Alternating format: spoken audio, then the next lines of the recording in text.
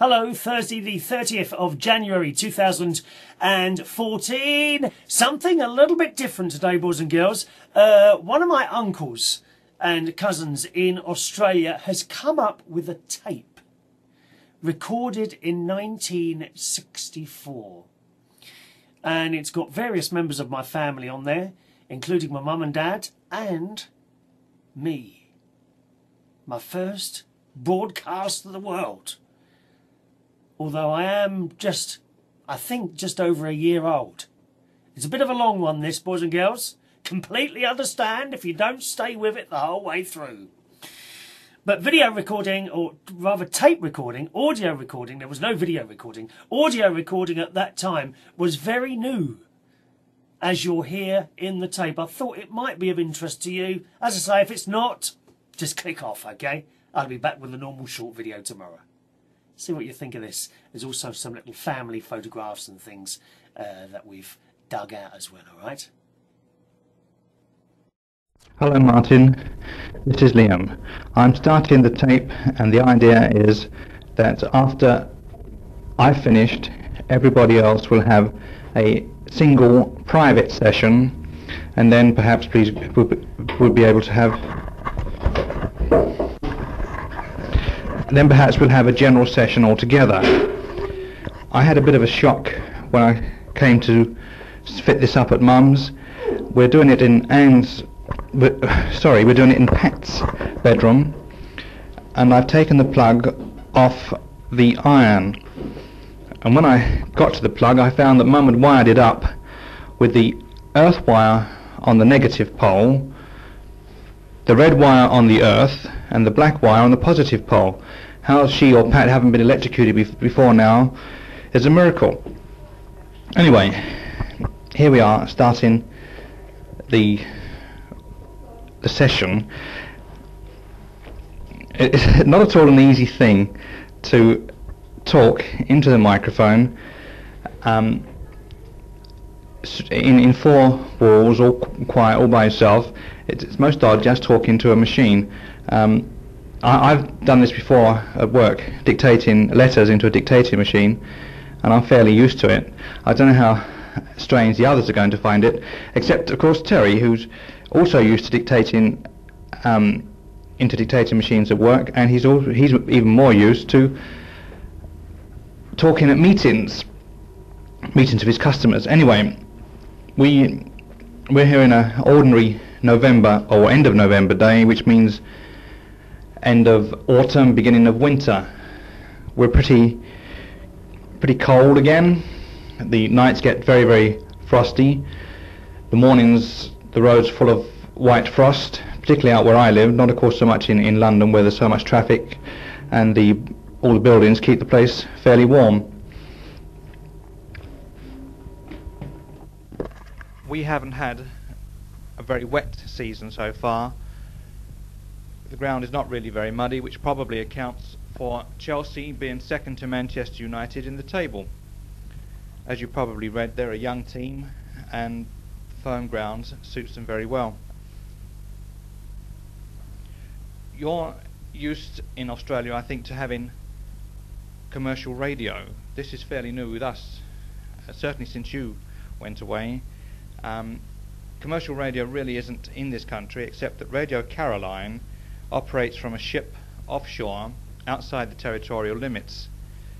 They've been going long enough now to have plenty of advertising and they they, they transmit or broadcast pop records all day long. It seems to be the same thing over and over again, but the kids, kids that's the uh, 18 to 25 year olds, they love it. Included in the advert, first I heard recently, one from Billy Walker. You know Billy Walker, the blonde bomb bomber, the um, heavyweight boxer. He, with his money, invested into in, in, garages in the what they call the Plaistow district of East London. He's advertising his own brand of petrol, appropriately enough called Punch.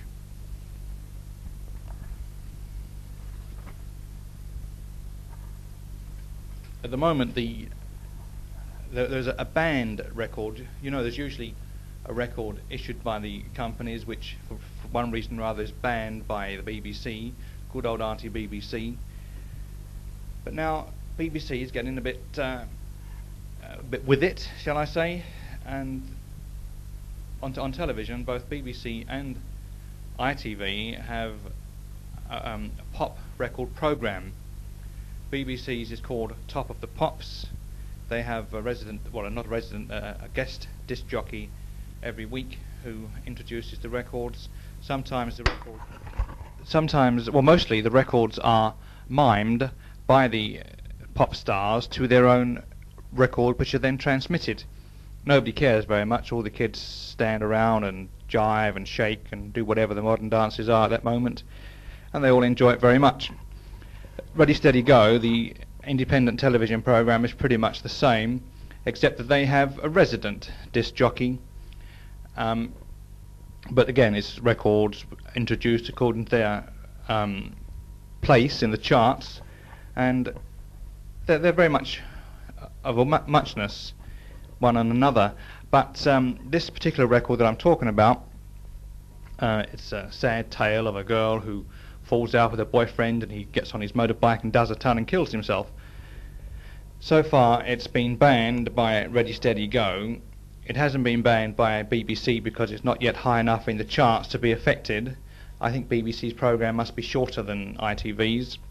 But Radio Caroline are broadcasting it, and I suppose it makes it uh, um, more attractive to the kids to think it's been banned. Th- these charts, this place in the charts, the charts are certainly the topic of conversation with all the all the kids, all the uh, youngsters.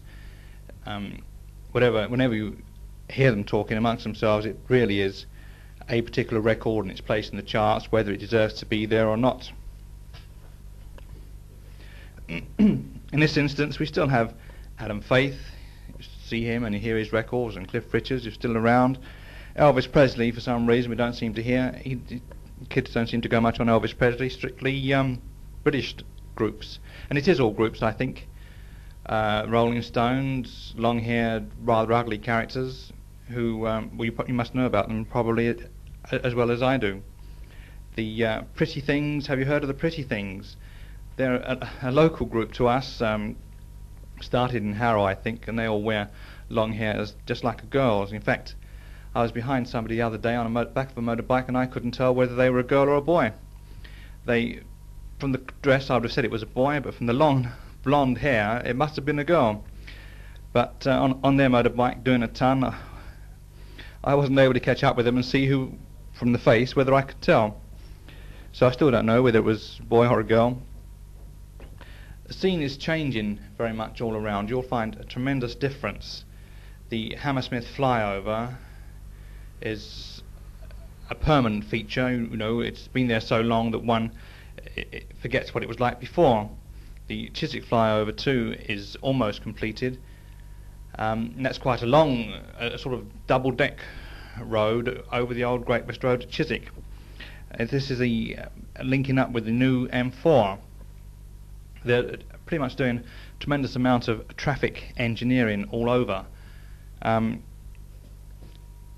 traffic engineering, this is a, a new name for messing about with the streets, putting up one-way streets and changing this to you can't go down there anymore and you must turn left at this corner or you must turn right at that one.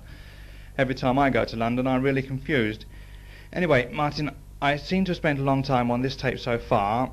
I'll sign off now and get the others to start. Um, the tape recorder we're using is a new one which we got for Anne's birthday, but it's um, not a very expensive one, and the controls are not really, they're simple enough, but they're not so easy to the uninitiated. And I don't know how I'm quite going to get uh, this recording with these everybody having a go. So if you get long breaks in the tape, you know, um, times when there's nothing on it, bear with us. It's because we're changing over or, or we got mixed up in one way or another. If you just carry on a little bit, we'll start off. You'll hear us again. So I'll sign off now for now, Martin. Probably I'll be able to talk to you again towards the end of the tape. Bye for now. Oh, no, you're off. Right. You're talking. Hello, Mark. Well, me also. This is, uh, as you know, Gerald. And uh, he's... Um, keep talking, even though you have uh, if you're thinking of something, don't try and switch it off. 'cause It's very complicated. You've got to hold it both together. So uh, just keep talking. Right. He won't mind a gap. well, I don't know. Well, mate, I don't know what to say to you very much at the moment, but at this particular moment, I'm uh, holding young Christopher in my arm, and uh, occasionally he does get the idea that he can uh, talk to you, and when he does talk, you'll just hear about hear a, um, little blur of hello or that sort of thing. Anyway, I don't know. What's um life been like out there? I suppose the last five years you've had quite a Hmm. last five years you've had quite uh, as, Christ- as Christopher again. Um, no, I'm leaving. I'm leaving Christopher to, to, to, to, to come in with a few words now and again so that Martin can hear him. You see, Yeah. and um, Well, when you're speaking, I think Martin can understand what you're saying. you don't think so? No, because you're not speaking quite Well, I'm the way you speak- should do. You should Why? with a Charlie Chaplin accent. I can't speak with Charlie Chaplin accent Yeah. any more than you could. Vincent's Vincent's in here too at the same time. But uh, you may not may may not know this, love, but uh, all this time you're being recorded at the same time. Stupid. This is stupid. Down you go, boy. Hey. Well, that little voice was was Vincent, and uh, as a matter of fact, one day, if you do come back to this country, you're going to find quite a change on the family side. What with uh, Vincent, Christopher, Peter. Running out of words. No, not running out of words. It- So what do you want to do in a situation like this? Is to try and um, talk ordinary, you know. Which you're not. Well, what do you, how now? How do you think I'm talking? I'm not. Putting on airs and graces. I'm not putting on the airs and graces. sound like you normally do. What do I sound like then? Said it was in the football commentary. so- ah, don't touch that, Chris. Don't touch that boy. Come on, Vincent. Christopher. But uh, Mr. Ring a ring the various um, things that Ring a ring a roses, pocket full of ha- half of the children, can you hear them? The three of them. It's, it's really it's really funny, but uh, we have in our little lives kept a little, uh, you know. Oh, I don't know how to forward this. It's, Talk to him as you would, as you nicely, you know. I'm talking to him nicely, but see, it's, it's very awkward with. Go out the Uh, yeah, you out the room for a while. What about the kids? Leave them, leave them if you like. Put you off? Yeah, I don't know. Good because it's, it's, yes, you will. well. well, I, I must, I mustn't take up too much of the time here, simply because that uh, the others have got to follow suit, come in and uh, also speak to you. But the things which I am interested, obviously, in the um, of the uh, cup, as you know, the old football business. You remember I used to run a team called uh, City Rovers, which you yourself played in. Well, now, um, when I moved to Slough, the uh, City Rovers, in a very short space of time, folded up. Simply because that uh, they had, didn't have anybody to do the donkey work for them. And um, subsequently, the players began to leave one by one until in the end we only had eight players. Well, the meeting was called to the club and the club was disbanded. Well, while that's now, occasionally I, got, I came back to London to see a team called the Stanford Rovers, which was also in our league, but uh, a, top, a far higher type of football. And Stanford um, were a good team, but they they deteriorated as well, and now I'm um, with a team called Somerstown Athletic. Well, this team is a is a, a team of senior amateur players, all of whom play Saturday afternoon top class football, and they're going, I think, a long way this year. Still, I shan't be going with them tomorrow because there's no match. But apart from that, I mean, I suppose all the family all the family life and all the family history and that, I imagine Liam himself has uh, covered. As I told you before, um, I have quite a poor still in the uh, old standard. So if you did want to come back at any time, and you did arrive in this country, you could contact me at the usual place standard, and um, I could uh, send you. I could uh, send you to the union for a job if necessary. Well, I don't know whether you can hear me with all this background racket, but the two children, Christopher and Vincent, are playing in the room while I'm talking to you. And um, I think you probably get, you probably get more more uh, enjoyment listening to those two than you will be listening to me. Anyway, the time a time will uh, keep, keep going, and I mean by now you must be uh, quite mature in your ways. And uh, I did hear from Mum that you were getting married soon to an Australian girl. Well, if this, if this did take effect, I know you, you would, you're got a fairly good judge, and that uh, you would obviously pick the girl of your own choice. So uh, let's hope that one day you come back with her she asks for holiday and, and then go back to Australia to continue settling down if you wish to. Wish to. But um, at the moment, the uh, position here is that we ourselves are living in a little flat in Peckham near her mother, Biddy's mother that is. And um, subsequently only about uh, 15 minutes walk from her, whereas now, before we couldn't um, do very much of an evening, especially for pictures and that, But his mother comes up on a Friday night and is able to babysit with us, or for us rather. And um, stop money now. Uh, for, babysit for us. Subsequently, we can um, we can go to the pictures and or else go to a theatre. For instance, um, in about uh, two weeks' time, we have a we have our usual dinner and dance of the standard, annual one that is, and uh, we have quite a, a good evening, a big a laugh and that. And I asked um, I asked Liam Liam, Pat and Anne to come, but although they have been the last two years, they're not coming this year because of the fact that Anne has to work late at the office and can't get away in time. But John and Shirley will be coming, and Billy's sister Brenda, she'll be coming with her husband. Yes, even she's married now. And um, so we'll have the six of them. We took Mum with us last year, and uh, at least two mums. That's Billy's, Billy's mum and Mrs. Hayes. And uh, oh, uh, there's another one coming now.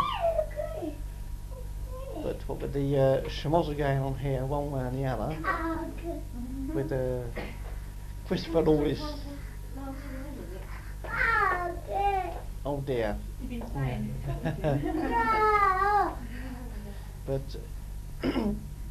Christopher at the moment has about three or four teddy bears to play with, and um, if if he uh, if he does um, get down to finishing and come over and say hello to you, Speak in there. Hello, Martin. Speak to Martin. Don't you want to speak to Martin? Say hello. No, No? no, I think you want to play with it and want to speak, don't you? no, no. No? no, Hiya, Say hello. hiya, There you are, all cockney. Hello.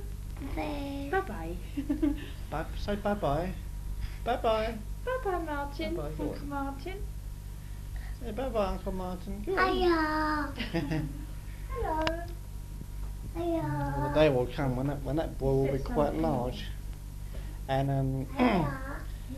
I think you can probably can still hear him in the background. When we I could when um, we were testing this out with Liam before this particular. Well, Liam had his little time with you, and um, take it away, love, just in case. And um, subs- subsequently, uh, I could just about hear myself with the background about, um, I suppose, a yard away from where he was talking.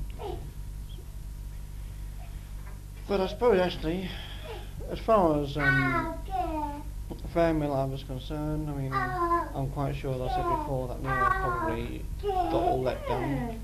But in about a little while time, probably about a year to year and a half, we should be leaving the LCC probably and buying a house our own.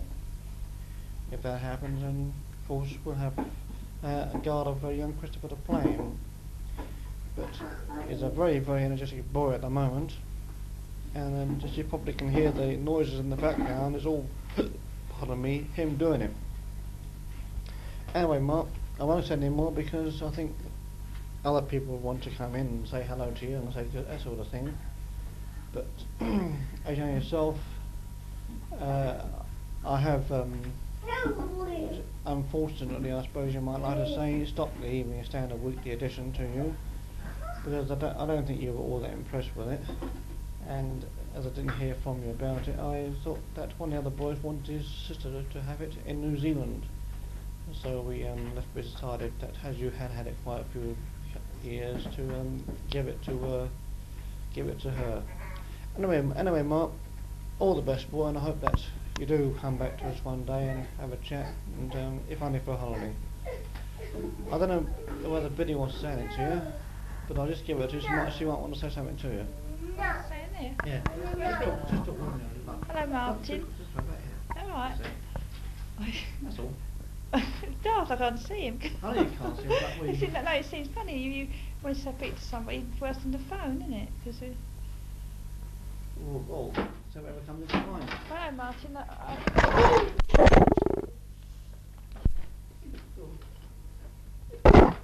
that was the ironing board falling on me.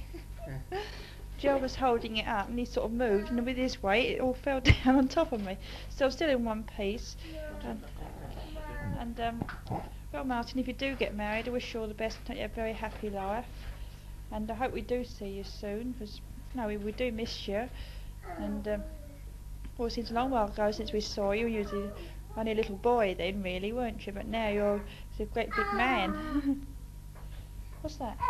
Is that better? Gerald said I got the um, whatever you call it, too near to me. The mic. Oh, the mic. Well, I wish you all the best anyway, Martin. And I have to hand you on to someone else, I suppose. You're gonna get um. Yeah. Bye, bye, Martin. All the best. Well, Mark, I think it's time we can go now. And Biddy's, I think you've heard Biddy in the past, and you've, you've just heard Christopher in the, in the bits and pieces. And so, um, if we all hear from you, boy, I'll say all the best. And until we do hear from you. Good luck and God bless. Say bye bye. Bye bye. Christopher's waving to you. Isn't he? Bye bye. No, it's not.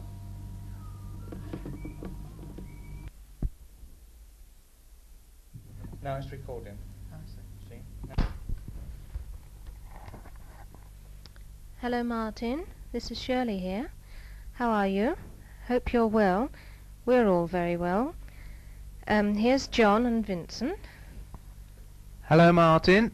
Nice to be able to talk to you, even if we can't see you. I expect you're getting a bit fed up with hearing all this tape. We must have been on quite a long time now. Everybody seems to have been coming upstairs and uh, staying up here for ages. But anyway, uh, it's an idea that's been in the wind for ages, and we're only too pleased to be able to carry it out at last. Actually, we've got Vincent with us, and he might deign to say something during the time that's been allotted to us. Say hello, Vincent? Say hello to Uncle Martin. He's trying to eat eat the microphone. um, he does say hello into the phone now, but uh, of course um, the mic is a different shape from the phone, and uh, um, um, so he's not uh, quite sure what to do. Anyway, when he does talk into the phone, it's always Dada. He thinks that uh, anyone at the other end should be Dada. Of course, he's he's Dada's boy. Um, it's always Dada this and Dada that. Um, but uh, he's up to plenty of tricks. uh, he's always in in trouble, emptying the cupboards out every single day. Um, but he has such an engaging smile that you can't get cross with him. Now I hear about all his tricks when I come home every evening, 'cause I don't have very much time with him, just at weekends. Uh, being out at work all during the days, in bed when I go and in bed when I come home, of course. But I hear all about them. But uh, as Shirley says, he's always up to mischief because he's just over 13 months old now, you know and uh, he's running about and getting into everything.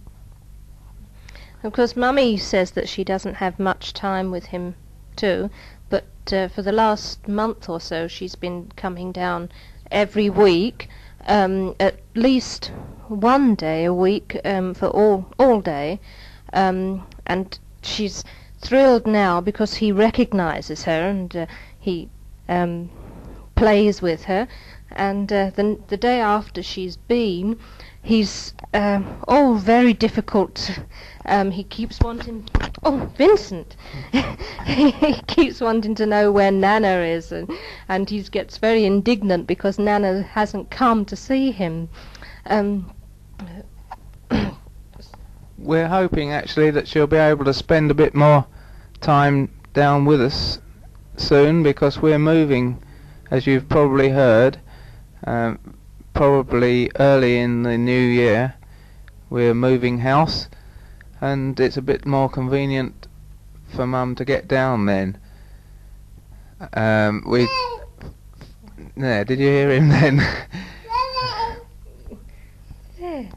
no, he wouldn't say it into the microphone. I hope you heard him anyway. Um, we've got a bigger bungalow at Tunbridge three bedrooms and a larger lounge so that we'll be able to go into the family way again if we're lucky. uh, another point in its favour is that it's got another 50 foot onto the garden and um, I'm pretty keen on that as you might know. I say he's keen. He spends all his time out in the garden, all weekends. It's as much as I can do to get him in to come to come in for a meal. Um, but we have a very large garden um, at Borough Green, an even larger one um, at Tunbridge.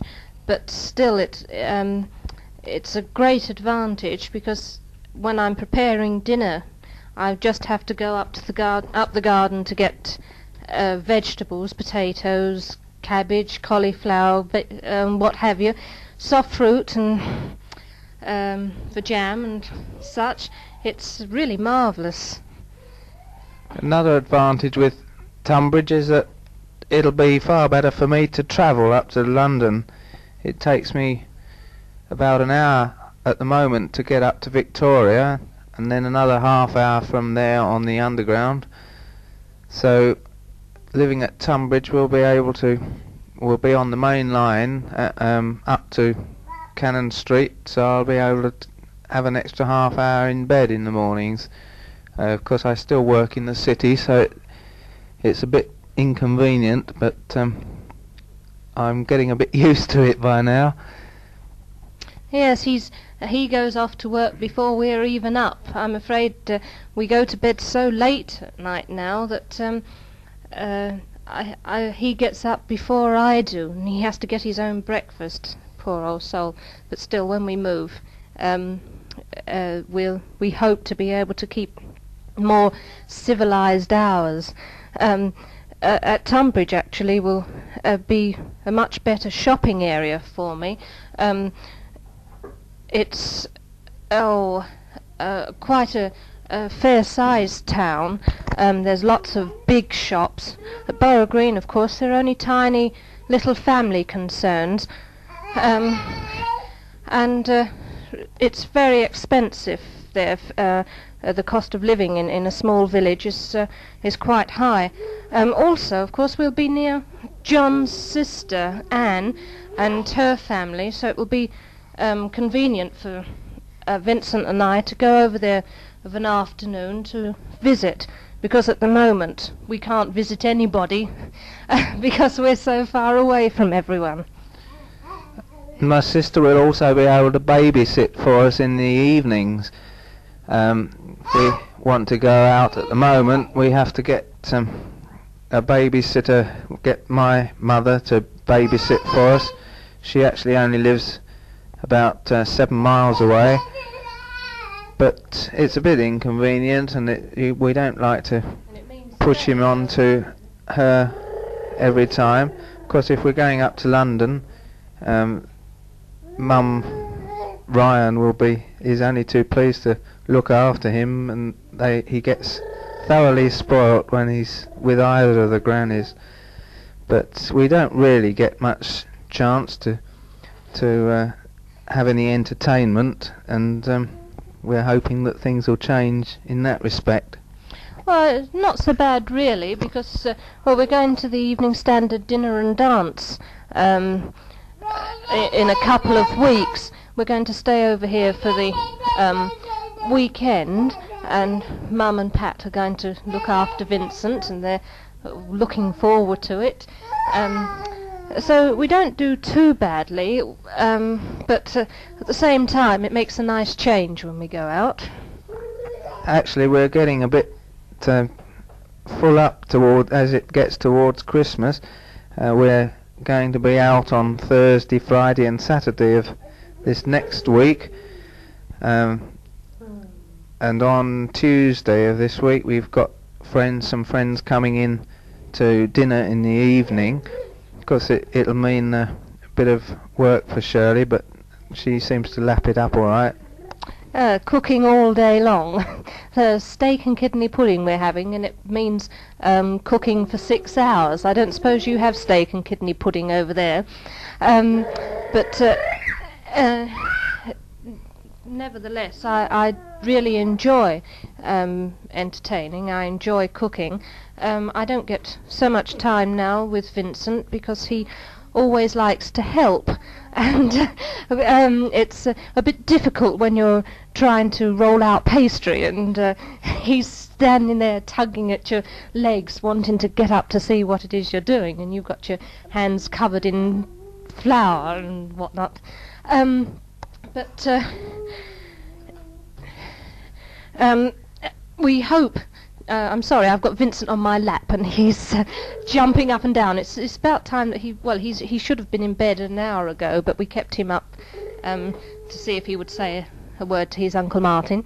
Um, however, we we hope when we move into the new place um, to have a housewarming party. We'll have all the family, of course, and John's family and our friends. Uh, it's it um, the lounge is oh, bigger than Mummy's lounge, um, and we we should have bags of room uh, for a, a party, um, and I'm looking forward to that when we've got everything straight. Of course, there'll be plenty to do there for me as well. Um, Shirley, no doubt, will get her whip out again. As soon as we get there, there's quite a lot of decorating we'll need doing. One of the rooms has never been decorated. In uh, the bungalow's about four and a half years old, and one of the rooms has never been decorated. So I've got quite a lot on my hands anyway. And luckily, the garden is more or less up straight, so I'll be able to do a bit of concentrating on the decorating this winter. Um, I don't know whether you could you've been able to hear Vincent while he's uh, while his mother's been talking here, but I'll just hold it in front, hold the microphone in front of him, and see if he will say something just for a minute. Say hello to Uncle Martin. Say hello. Say hello. Hello. Say hello. Dad, dad, dad, dad, dad, dad. You say. No, you shy. Hello. Say. Tickle, Say hello. tickle, tickle.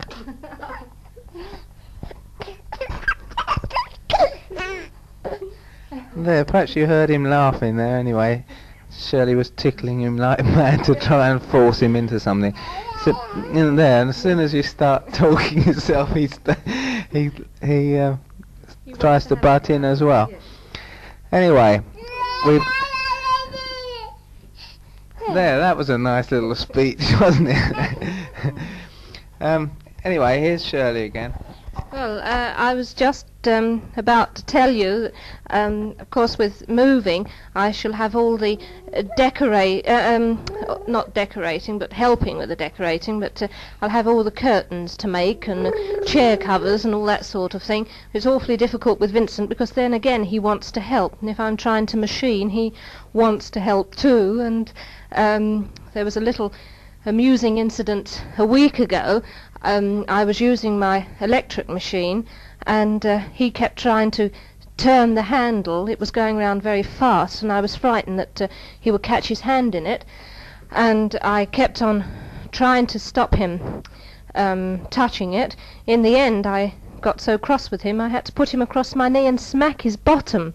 Um, he cried for a minute, and then um, he looked at me, and I started to machine again, and he put his hand out to touch it um, yet again, and when I lifted my hand up to him, he ran across to the other side of the room and laughed his head off. of course, I um, I couldn't do anything to him. I was trying very hard not to laugh myself, and that's the sort of uh, thing that he's always doing. Um, anyway, uh, as you can gather, we'll be really busy over uh, well, between now and the new year. But I don't suppose we'll be as busy as you are with uh, the Christmas rush. I hope you'll have plenty of parties to go to and that you'll have a, a really smashing time this Christmas. Yes, we'll be thinking of you, Martin. It's been jolly nice being able to talk to you. Hope it hasn't been too boring for you. But anyway, we're looking forward to you coming back to the old motherland some of the one of these days. And um, in the meantime, all the best to you, and uh, don't work too hard at Christmas. Have a jolly good time. And here's Shirley just to say our last goodbye. Well, bye-bye, Martin. It's been really nice to be able to speak to you, even though you haven't been able to answer us back. Um, I do hope that the next time we'll be able to talk to you in person. Anyway, we're really dying for you to come home again, honestly. Well, bye-bye, and God bless. Say bye-bye to Uncle Martin. Wave bye-bye. Well, he's waving bye-bye to you, even if he's not saying it. Cheerio now, Martin. Bye-bye, Martin. Bye-bye.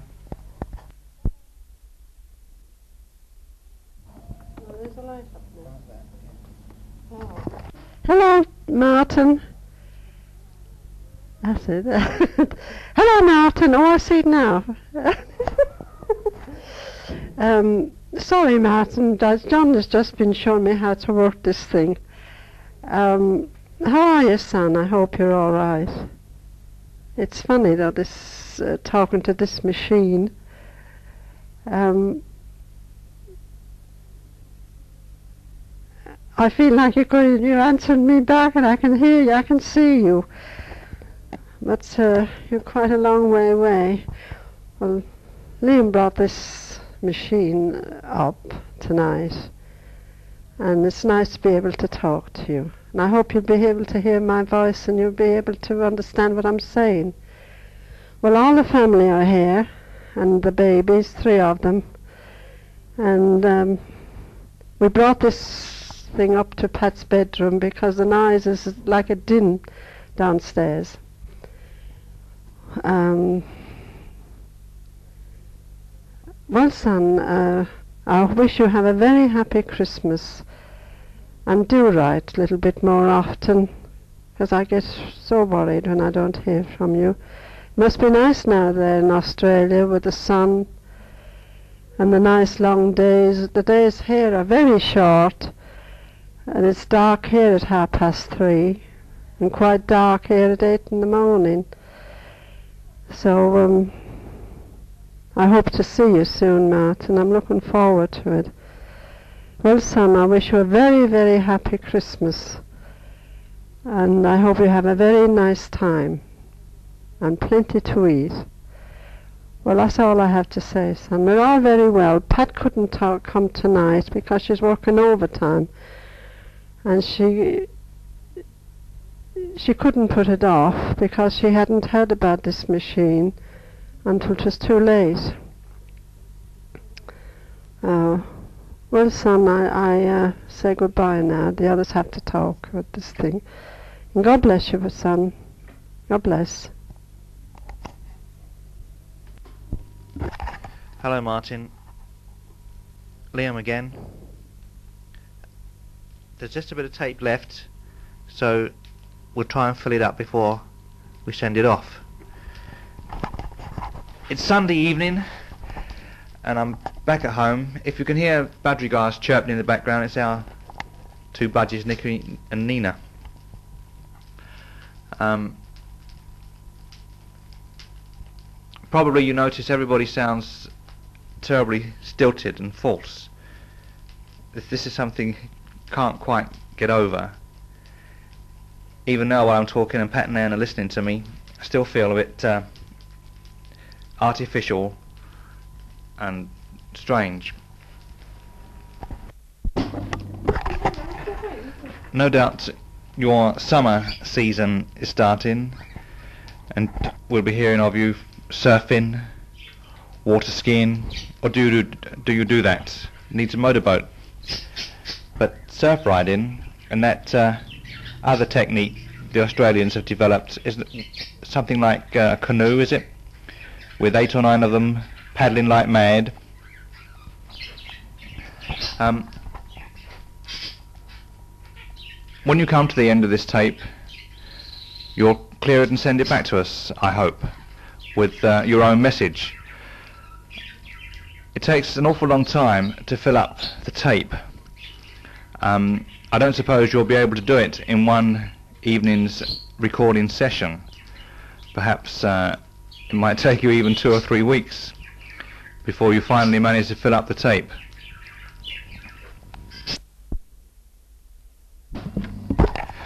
I reckon this is about the end, Martin. We'll sign off now and be able to pack it up and post it off to you tomorrow. This is Sunday evening, November the 29th. Tomorrow, the last day in November, we'll post it off to you and see how long it takes to get there. If we don't see you, or you don't hear from us in the meantime, we hope you have a very happy Christmas and a happy and prosperous New Year, and please God we'll see you back again home next year. Merry Christmas, Martin. Happy New Year.